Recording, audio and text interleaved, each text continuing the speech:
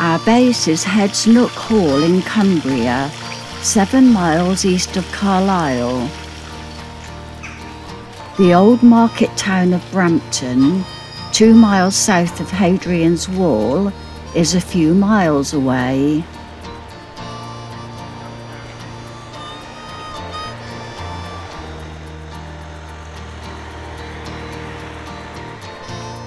In Front Street is St Martin's Church, built by the Earl of Carlisle in 1878. The Moot Hall, built in 1817, is an octagonal building which housed the town hall and a market. In the afternoon, we drive to Talkin Tarn Country Park two miles from Brampton.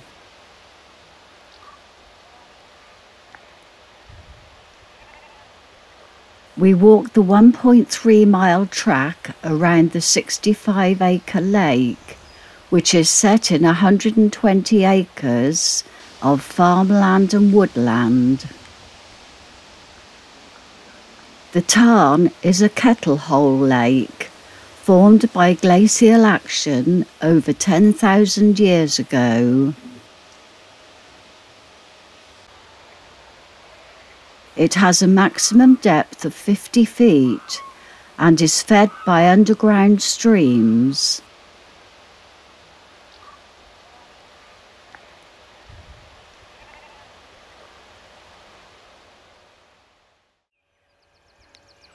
Today we are at Banks East Turret, walking five miles alongside Hadrian's Wall to Gilsland.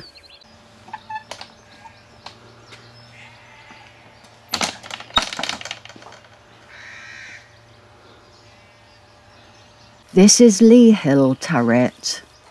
The turrets were small stone watchtowers built every one third of a Roman mile between the mile castles. Passing through some of the most beautiful landscapes of Cumbria and Northumberland, Hadrian's Wall is a UNESCO World Heritage Site, stretching almost 80 miles from the Irish Sea to the North Sea. We reach Birdoswald Roman Fort, one of the best preserved of the 16 forts along the wall.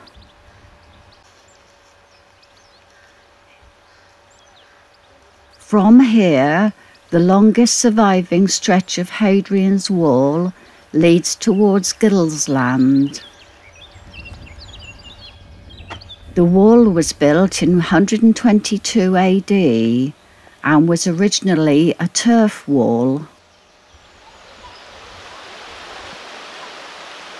At Willowford, we reached the River Irthing.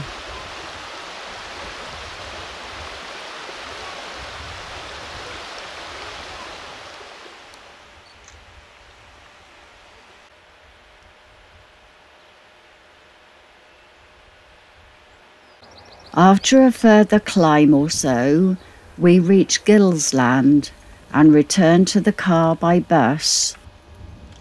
In the afternoon, we drive back to the small village of Gilsland, which straddles the border between Cumbria and Northumberland. We spend an hour or so exploring the River Irthing.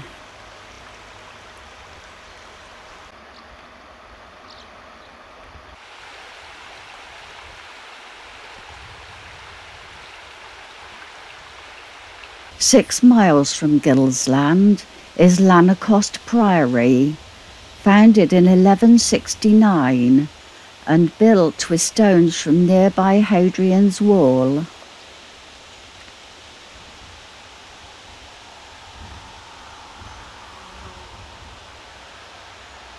Nearby is the attractive old sandstone bridge over the River Irthing, built in 1724. The last traffic passed over in 1962 when a new bridge was opened.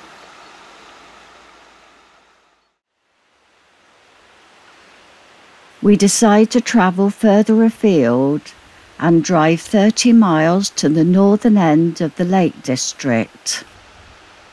Haweswater Dam construction was started in 1929 flooding the valley of Mardale to provide water for Manchester Corporation.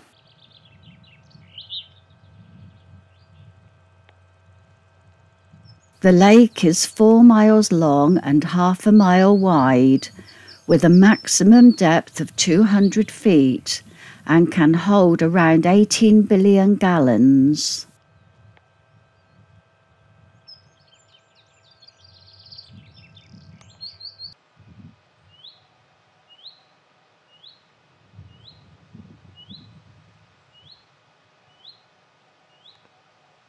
It is a very tranquil and less visited part of the Lake District due to the access by the one and only narrow road to this peaceful spot.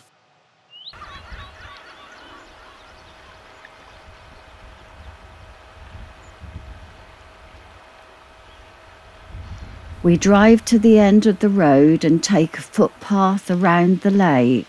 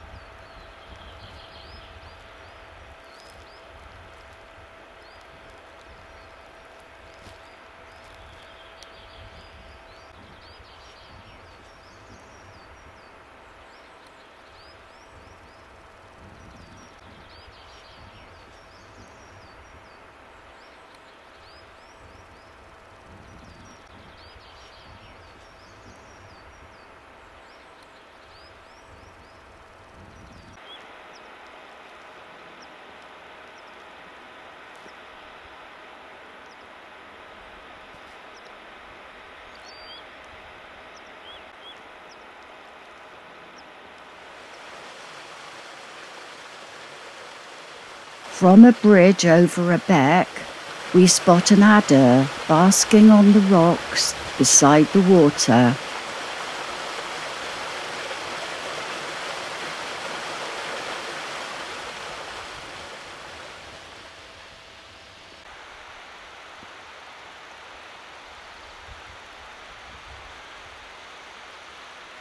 As we return to the car, the clouds clear for a sunny drive back.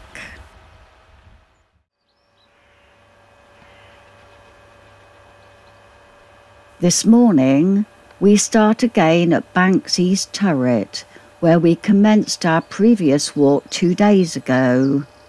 But today we are driving around the area, passing again Hadrian's Wall near Birdoswald.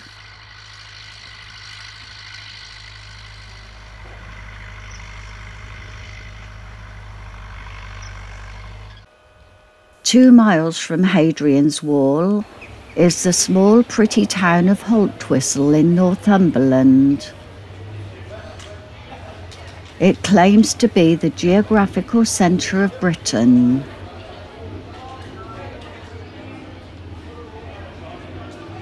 The river South Tyne flows under the old iron bridge completed in 1875 just along the river is the Alston Arches Viaduct, a stone bridge built in 1851 for the railway, but now pedestrian only.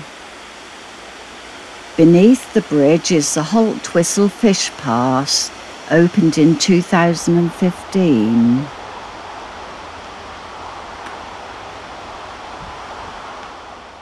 Leaving Haltwhistle, we drive east to Haydon Bridge. The old bridge, originally built in 1309, was rebuilt in 1776 after a flood. Driving south into the Pennines, we reached the small Northumberland village of Allendale.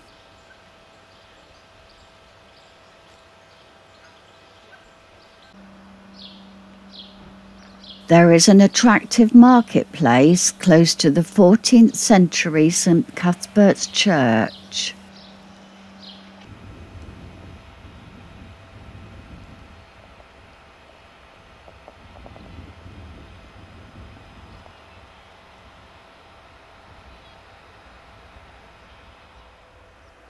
We continue through beautiful countryside, passing the old Killhope lead mine.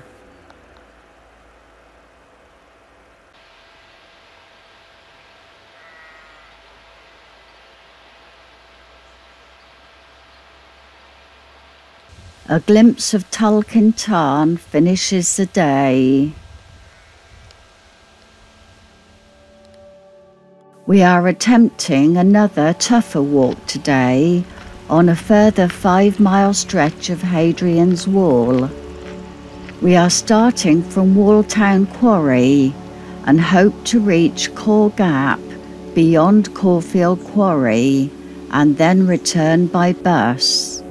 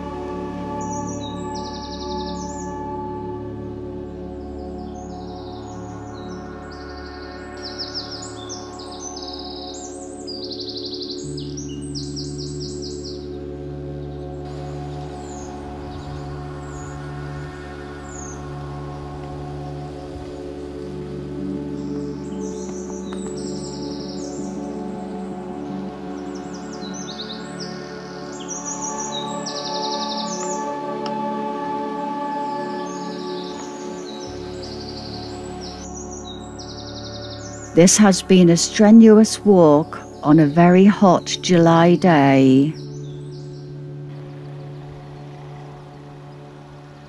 Back at Walltown Quarry, we have a welcome rest. Our final day, and we are driving along the marshes on the banks of the Solway Firth in Cumbria, looking across to Scotland. Cattle graze on the salt marshes and stray onto the sands, but are aware of the rising tide.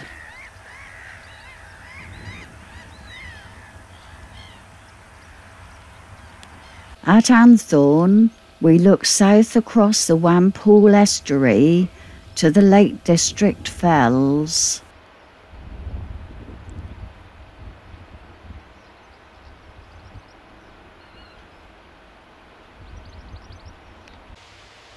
Passing through Skinburness, we reach the seaside town of Silloth and continue south towards Maryport.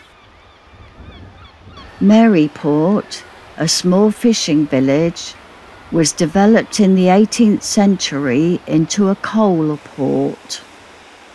From the bridge over the River Ellen, we see a fishy tail a sculpture by local artist Colin Telfer.